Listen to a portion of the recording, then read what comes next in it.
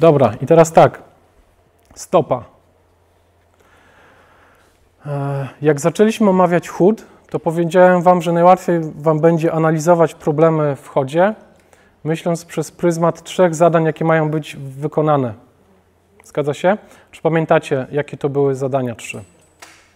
A, B, C to było zadanie. Pierwszym to było przejęcie ciężaru ciała okay?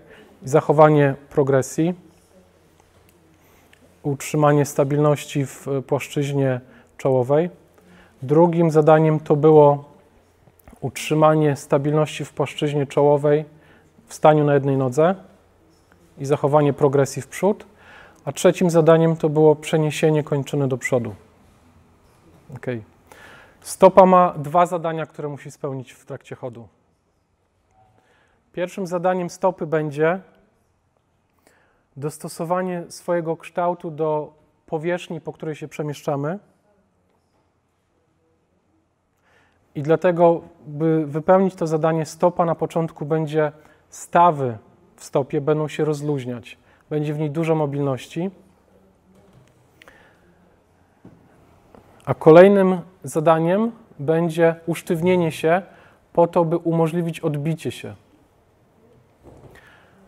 Zbudowanie stopy, znalazłem taką informację, w chwili obecnej jest największym wyzwaniem dla robotyki humanoidalnej, czyli jest największym wyzwaniem dla inżynierów, którzy chcieliby zbudować robota, który wyglądałby i chodziłby jak człowiek. Są roboty już, które poruszają się, mają dokładnie ten sam cykl chodu. Problem jest taki, że poruszają się po płaskiej podłodze, tak jak tutaj jest na sali. Fenomenem ludzkiej stopy jest to, że jak pójdziecie w góry i zaczynacie chodzić po różnej nawierzchni, po trawie, skałach i tak to ona się swoim kształtem będzie dostosowywać tylko po to, by umożliwić Wam przemieszczanie się. I teraz jak to się dzieje, że stopa dostosowuje swój kształt do podłoża? Po kontakcie pięty z podłożem zaczyna się cała taka kaskada przemieszczania kości. Pięta idzie do ewersji, czyli idzie do boku. I to otwiera staw Szoparta. Powoduje zapadnięcie się brzegu przyśrodkowego stopy i w ten sposób wszystkie stawy są luźne. I stopa dostosuje się do powierzchni. Natomiast jak jesteśmy już w wczesnym mid-stance,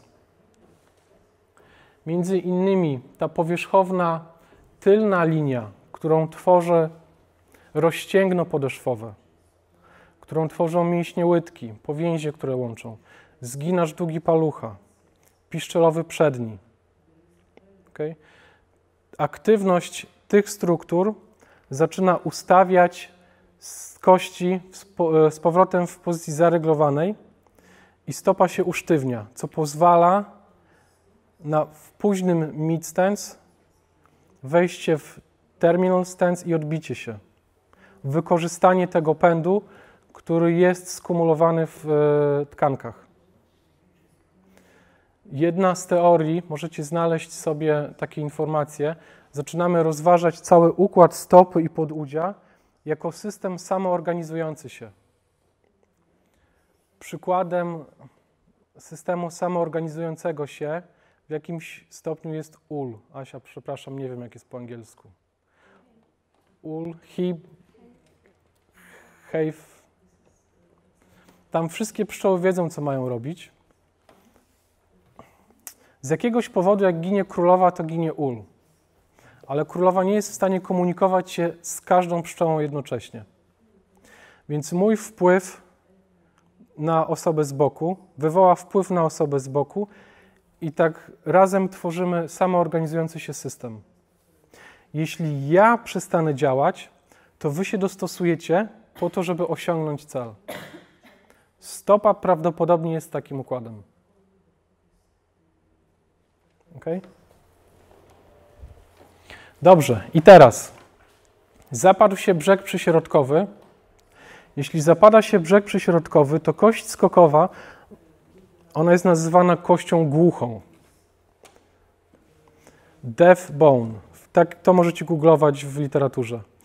Jeśli wyobrazicie sobie, że moja głowa jest kością skokową, a kość piszczelowa i strzałkowa są słuchawkami, to jeśli kość się obróci, to słuchawki podążyłyby za ruchem tej kości. Kontakt pięty z podłożem wymusza ruch pięty na zewnątrz, co wymusi rotację kości skokowej do środka, co wymusza rotację całego golenia do środka podczas initial contact. I tutaj jest to pokazane. Jeśli brak jest wystarczającej kontroli tego ruchu, to struktury przyśrodkowe w kolanie zaczną być przeciążane. I może dlatego przeciążenia e, więzadła pobocznego przyśrodkowego albo nie wiem, cokolwiek, co się dzieje, łąkotka przyśrodkowa, ból, tam musi być rozwiązany poprzez pracę nad stopą. Widzicie to połączenie? Dobra. Ale ten kolaps medialny, bo od tego wyszliśmy, może być kontrolowany jeszcze z drugiej strony łańcucha.